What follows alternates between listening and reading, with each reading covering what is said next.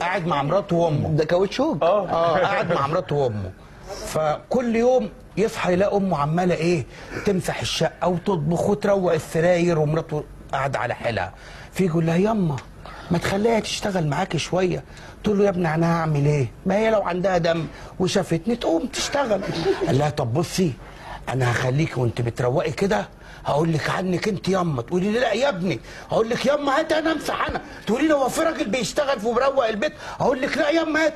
هتتكسف على دمها وهتاخد منك المساحة والمقشة.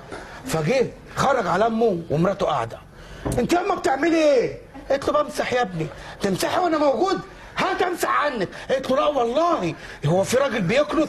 قال لها اوعي بقول لك عشان أنا امسح بدالك. قلت له هو في راجل بيمسح؟ فمراته قاعدة قالت له انت هتعملي لي دوشة. انت يوم وامك يوم.